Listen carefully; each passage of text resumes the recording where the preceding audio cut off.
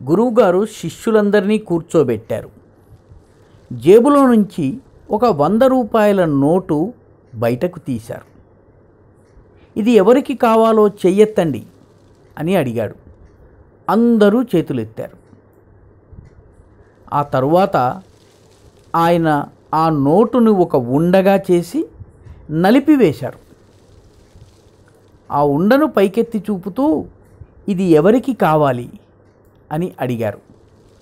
నాకు నాకు నాకు అంటూ అందరూ మళ్ళీ చేతులెత్తారు.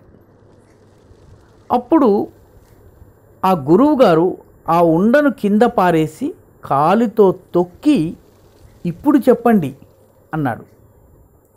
అందరూ మళ్ళీ చేతులెత్తారు. నాకు నాకు నాకు అని కేకలేశారు.